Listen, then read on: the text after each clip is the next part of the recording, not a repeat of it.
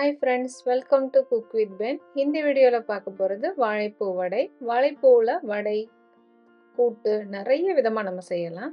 இந்த வாழைப்பூவில் நம்ம இன்றைக்கி வடை எப்படி செய்கிறது அப்படின்னு பார்க்கலாம். அதுவுமே இதில் உள்ள துவப்பே தெரியாத அளவுக்கு நம்ம வடை செய்ய போகிறோம் அதுக்கு முன்னாடி சேனலுக்கு சப்ஸ்கிரைப் பண்ணாதவங்க மறக்காமல் சப்ஸ்கிரைப் பண்ணிக்கோங்க. கூடவே அந்த பெல் ஐக்கானும் கிளிக் பண்ணிக்கோங்க. வாழைப்பூ வடையை செய்கிறதுக்கு ஃபஸ்ட்டு நம்ம இரநூறு கிராம் கடலப்பருப்பு நல்லா ஊற வச்சுக்கணும். இதை வந்து ஒரு ரெண்டு மூணு தண்ணி நல்லா அலசி எடுத்துட்டு அதுக்கப்புறம் ஊற வச்சுக்கணும். வாழைப்பூ வடை செய்கிறதுக்கு அதில் தோப்பு இல்லாமல் செய்கிறதுக்கு கொஞ்சம் பெரிய சைஸ் வாழைப்பூவாக நம்ம சூஸ் பண்ணிக்கணும். இப்போ இது பாருங்கள் இந்த மாதிரி இந்த இடத்துல உள்ள இது எல்லாத்தையுமே நம்ம வடை செஞ்சுட்டு நடுவில் உள்ள குருத்தை வந்து நம்ம கூட்டு பொரியல் இதுக்கு பயன்படுத்தலாம். இப்போ இதை எப்படி க்ளீன் பண்ணுறதுன்னு பார்க்கலாம் இது மேலே டிரான்ஸ்பரண்ட் மாதிரி ஒரு போட்டு மாதிரி தெரியுது பார்த்தீங்களா இதை எடுத்துடணும். அடுத்து ஒரு மைக் மாதிரி இருக்கும். அதில் மட் நிறைய குச்சிகள் இருக்கும். அதில் அந்த ஒன்றில் மட்டும்தான் ஹெட்டு மாதிரி வரும். அது மட்டும் இல்லாமல் அது ரொம்ப ஹார்டாக இருக்கும். ஸோ இதையுமே ரிமூவ் பண்ணிடணும். இதே மாதிரி இந்த வாழைப்புள்ள உள்ள எல்லாத்தையும் ரிமூவ் பண்ணிவிட்டு இது ஃபுல்லாகவே நம்ம யூஸ் பண்ண போகிறோம் சிலர் வந்து இந்த முன்னாடி உள்ள இந்த பகுதியை மட்டும் நீக்கிடுவாங்க தோப்பாக இருக்கும் அப்படின்ட்டு. அப்படி இல்லை. நம்ம வாழைப்பூ செய்யும் போது வாழைப்பூ பெருசாக உள்ளதாக வாங்கணும் அப்படின்னா கண்டிப்பாக வடையில் தோப்பு இருக்காது. ஸோ இந்த டிப்ஸை நீங்கள் ஃபாலோ பண்ணி பாருங்கள் இதே மாதிரி நம்ம மீதி உள்ள எல்லா வாழைப்பூவுமே சுத்தம் பண்ணி எடுத்துக்கலாம். நான் வந்து இந்த வாழைப்பூ வடைக்கு ரெண்டு கைப்பிடி அளவுக்கு வாழைப்பூ மட்டும் சுத்தம் பண்ணி எடுத்துக்கிறேன். வாழைப்பூ நறுக்கும்போது நம்ம இதை வந்து நல்லா பொடிஸ் பொடிசாக நறுக்கி எடுக்கணும். கூடவே இதில் உள்ள துவப்பு தெரியாமல் இருக்கிறதுக்கு நம்ம நறுக்கும் போதே இதை உப்பு தண்ணியில் சேர்த்து வச்சுக்கணும். கடலைப்பருப்பு வந்து ஒன்றுலேருந்து ஒன்றரை மணி நேரம் நம்ம நல்லா ஊற வச்சாலே போதும். நல்லா ஊறி வந்துடும் சீக்கிரமாகவே பாருங்க நல்லா ஊறி வந்துருச்சு. இப்போ இதில் வந்து ஈரப்பதம் இல்லாத அளவுக்கு இதை மட்டும் தனியாக வடிகட்டி எடுத்து வச்சுக்கணும். வாழைப்பூ நறுக்கிறதுக்கு முன்னாடி ஒரு பாத்திரத்தில் கொஞ்சமாக தண்ணி எடுத்துட்டு அதில் கொஞ்சமாக உப்பு சேர்த்து வச்சுக்கோங்க. இந்த மாதிரி நம்ம வாழைப்பூவை நறுக்கிட்டு உப்பு தண்ணியில் சேர்த்தோம் அப்படின்னா அதில் உள்ள எக்ஸஸ் துவப்பு கொஞ்சம் கம்மியாகும். அது மட்டும் இல்லாமல் வாழைப்பூவோட நிறமும் சீக்கிரமாக கருத்து போகாமல் இருக்கும். இப்போது இந்த வாழைப்பூவை ஒன்றா சேர்த்து வச்சுட்டு இந்த மாதிரி நறுக்கிக்கலாம். இந்த மாதிரி நம்ம ஒன்றா சேர்த்து வச்சுட்டு நறுக்கும்போது கொஞ்சம் சீக்கிரமாக நறுக்கி எடுக்கலாம்.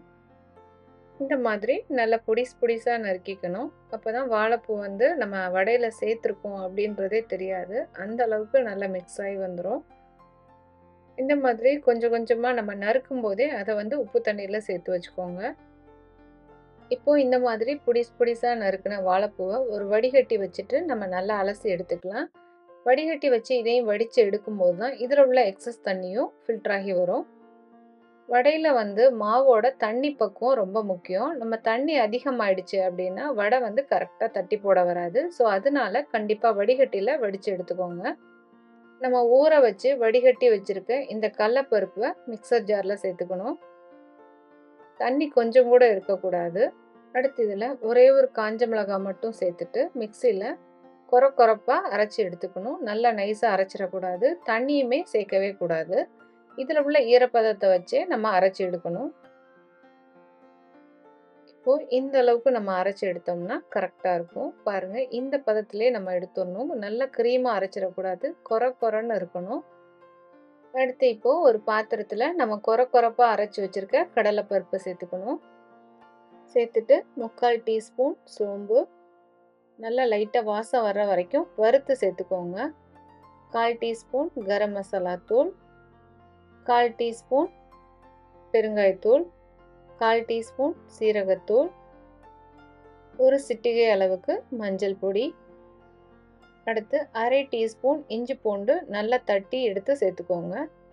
அடுத்து நம்ம வடிகட்டி வச்சுருக்கோம்ல வாழைப்பூ அந்த வாழைப்பூவையும் சேர்த்துக்கணும். வாழைப்பூலையுமே ஈரம் இல்லாத அளவுக்கு நல்லா வடிகட்டி சேர்த்துக்கோங்க. காரத்துக்கு தேவையான அளவு பச்சை மிளகாய் அடுத்து ஒரு மீடியம் சைஸ் வெங்காயம் ரெண்டு கொத்து கருவேப்பிலை இது ரெண்டுமே நல்ல பொடிசாக நறுக்கி சேர்த்துக்கோங்க. இப்போ இது எல்லாத்துக்கும் தேவையான அளவு உப்பு சேர்த்துக்கணும். அடுத்து இதில் ரெண்டு டேபிள் ஸ்பூன் வறுத்த அரிசி மாவு சேர்த்துக்கோங்க. இப்போது இது எல்லாமே நல்லா மிக்ஸ் ஆகிற மாதிரி நல்லா மிக்ஸ் பண்ணி விட்டுக்கணும். மசாலா உப்பு எல்லாமே நல்லா ஈவனாக மிக்ஸ் ஆகிற அளவுக்கு நல்லா மிக்ஸ் பண்ணி விட்டுட்டு சின்ன சின்ன உருண்டைகளை ஒரு பாத்திரத்தில் நம்ம தனியாக எடுத்து வச்சிட்டோம் அப்படின்னா வடை பொரிக்கும் போது ஈஸியாக இருக்கும். இந்த வாழைப்பூ வடையில் வந்து நம்ம உப்போட அளவு வந்து கொஞ்சம் கம்மியாக சேர்த்துக்கணும். ஏன் அப்படின்னா துவப்பு உள்ள பொருளில் வந்து நம்ம உப்போட அளவு கம்மியாக சேர்த்துட்டோம்னா தான் அதோட கரிப்பு தன்மை கம்மியாக இருக்கும். ஸோ நமக்கு உப்பு வந்து அது கொஞ்சம் கரெக்டாக சேர்த்தா கூட கரிக்கிற மாதிரி டேஸ்ட்டு கொடுத்துரும். ஸோ வாழைப்பூ வடையில் கண்டிப்பாக உப்போட அளவு ஒரு கல் அளவுக்கு கம்மி பண்ணி சேர்த்துக்கோங்க. வீடியோ ஸ்கிப் பண்ணாமல் முழுசாக பாருங்கள் இரநூறு கிராம் கடலப்பருப்புக்கு ரெண்டு கைப்பிடி வாழைப்பூக்கும் எத்தனை வடை கிடச்சிச்சு அப்படின்ட்டு நான் அதையுமே சொல்கிறேன் இந்த மாதிரி உருண்டைகள் ரெடி பண்ணதும் நம்ம கையை லைட்டாக வெட் பண்ணிவிட்டு இந்த மாதிரி ப்ரெஸ் பண்ணி எடுத்துட்டா போதும். கையில் எண்ணெய் தடணும்னு அவசியம் இல்லை. கையை லைட்டாக ஈரமாக்குனாலே போதும். இதே மாதிரி எல்லா வடையுமே ரெடி பண்ணி எடுத்துக்கணும். இப்போது வடை பொரிக்கிறதுக்கு ஒரு பாத்திரத்தில் தேவையான அளவு எண்ணெய் சேர்த்துட்டு சூடு பண்ணிக்கோங்க. எண்ணெய் சூடானதும் மிதமான ஹீட்டில் வச்சுட்டு வடையை சேர்த்துக்கோங்க. அப்போ தான் வடை வந்து உள்ளேயுமே நல்லா வெந்து வரும். வடை சேர்த்ததுமே நம்ம திருப்பி விட்டுறக்கூடாது. இந்த மாதிரி கொஞ்சம் சலசலப்பு அடங்கிட்டு வடை வந்து திருப்புறதுக்கு ரெடி ஆனதுக்கப்புறமா இன்னொரு பக்கம் திருப்பி விடுங்க. அப்போ தான் வடையும் உடையாமல் கிறிஸ்பாக வரும். இப்போ வடை வந்து நல்ல கோல்டன் ப்ரௌன் கலர் வந்துருச்சு. கொஞ்சம் லைட்டான கோல்டன் ப்ரௌன் கலர் வந்ததுமே நீங்கள் எடுத்துருங்க. அது ஹீட்லேயே நமக்கு கொஞ்சம் டார்க் கலர் கொடுத்துரும். ஸோ இந்த ஸ்டேஜில் நான் வடை எல்லாத்தையுமே எடுத்துக்கிறேன். இதே மாதிரி மீதமுள்ளதை தட்டி பொறிச்சு எடுத்துக்கோங்க. நல்லா கிறிஸ்பாக மொறு மொறுன்னு வாழைப்பூ வடை ரெடி ஆயிடுச்சு. இந்த வடை எப்படி இருக்குன்னு உங்களுக்கு ஒன்று உடச்சி காட்டுறேன் பாருங்கள் நல்ல கிறிஸ்பாக இருக்குது உள்ளேயுமே நல்லா சூப்பராக குக் ஆகி வந்திருக்கு பாருங்கள் நம்ம தண்ணி அதிகம் சேர்த்துட்டோம் அப்படின்னா இந்த மாதிரி பர்ஃபெக்டாக கிறிஸ்பாக கிடைக்காது. இன்னொன்று தண்ணி அதிகமாகிடுச்சு அப்படின்னா நிறைய எண்ணெய் குடிக்க ஆரம்பிச்சிரும். ஸோ கரெக்டான இதில் செஞ்சோம் அப்படின்னா இந்த மாதிரி நல்ல கிறிஸ்பாக சூப்பராக கிடைக்கும். இரநூறு கிராம் கடலைப்பருப்புக்கு எனக்கு பதினஞ்சு வடை கிடச்சிருக்கு. நம்ம செய்கிற உருண்டையோட அளவை பொறுத்தும் வடையோட கவுண்டிங் மாறும். ஸோ நீங்களும் அடுத்த தடவை இதே மாதிரி வடை செஞ்சு பார்த்துட்டு எப்படி இருக்குன்னு கமெண்ட்டில் சொல்லுங்கள் இந்த வீடியோ பிடிச்சா லைக் பண்ணுங்கள் ஷேர் பண்ணுங்கள் மறக்காமல் சேனலுக்கு சப்ஸ்கிரைப் பண்ணுங்கள் தேங்க்யூ